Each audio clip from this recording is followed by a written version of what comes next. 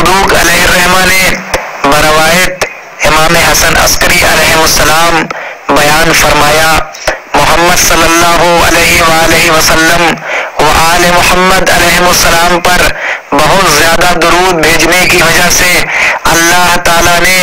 حضرت ابراہیم علیہ السلام کو اپنا خلیل دوست بنایا الشرائع۔